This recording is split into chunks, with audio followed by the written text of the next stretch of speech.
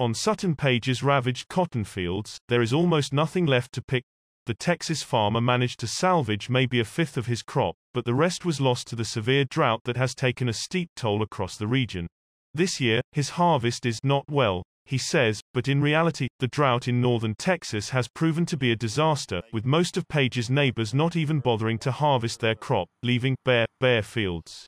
This year, national production will hit its lowest level since 2015, down 21% year on year, and Texas will suffer a 58% drop, the U.S. Department of Agriculture estimates.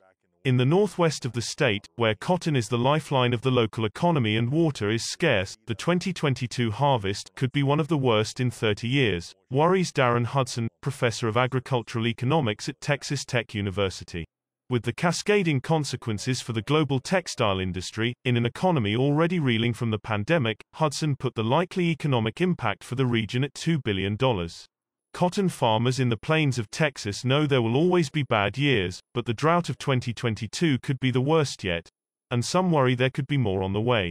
These farmers in Texas, a state where climate skepticism abounds, prefer to see unpredictable weather cycles repeating themselves rather than the effects of global warming, which makes extreme weather events more common.